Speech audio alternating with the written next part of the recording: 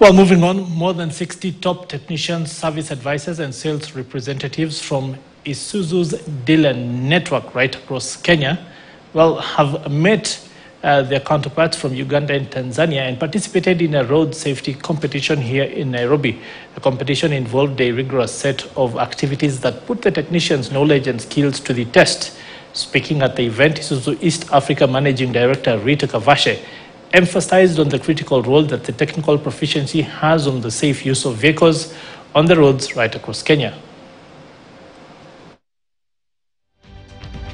We have brought in most of the best uh, technicians, the best parts advisors, the best salespersons. The idea of the, the competition is to, to, to standardize skills, to upscale skills, to see how well conversant they are with the Isuzu. I believe uh, this competition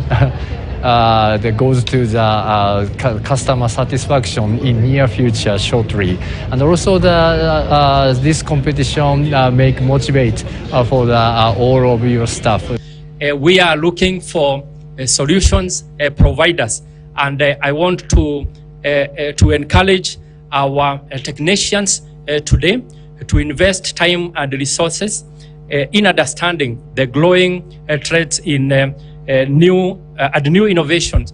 uh, that are uh, that are uh, coming up to simplify uh, to simplify service deliveries uh, to our customers. Now, moving on, Kenya imports about 60% of the 55 million